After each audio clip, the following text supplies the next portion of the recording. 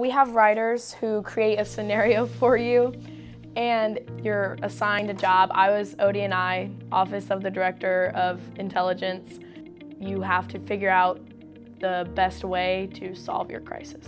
So I was Secretary of Homeland Security and I had never even really looked into that kind of stuff. And so getting to actually play a part in these simulations was really interesting. So we got like a crisis situation and we had to figure out a way to work as a team to solve it and help be a counsel for our president so that he can make the right decisions. The National Security Council simulation was very interesting because I had never thought about how I would respond in that case, especially as a Secretary of Defense.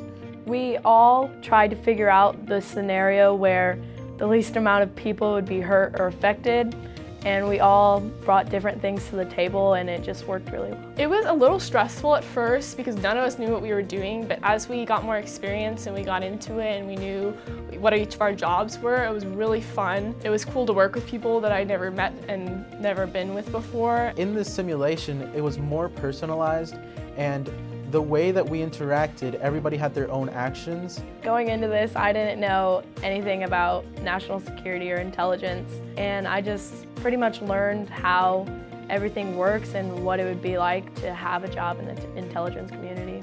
Very much opened my eyes to the real dynamic that certain bodies like the National Security Council do actually act